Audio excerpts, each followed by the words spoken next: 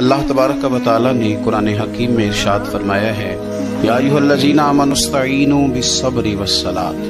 ईमान वालो, सब्र और नमाज़ से इस्तेनत करो, मदद मांगो। इन साबरीन बेशक अल्लाह सब्र करने वालों के साथ।